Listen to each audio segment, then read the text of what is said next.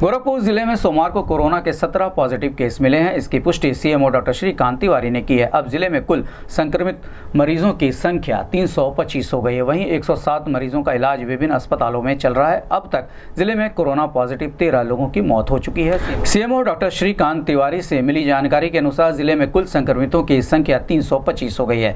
इनमें दो ठीक होकर घर जा चुके हैं, जबकि तेरह की मौत हो चुकी है। एक्टिव केस एक सौ सात है। कैंपियरगंज में तीन, गोविंद नगरी में पाँच सूरजकुंड में तीन, राजघाट में तीन एडीजी ऑफ़िस में एक बीआरडी मेडिकल कॉलेज में एक और सजनवा में एक कोरोना पॉजिटिव मरीज़ मिले हैं। जिन जगहों पर पॉजिटिव मरीज़ मिले हैं, उन सभी जगहों को हॉटस्पॉट एरिया घोषित कर दिया गया है। साथ ही एहतियात के तौर पर सैनिटाइजिंग का कार्य कराया गया है।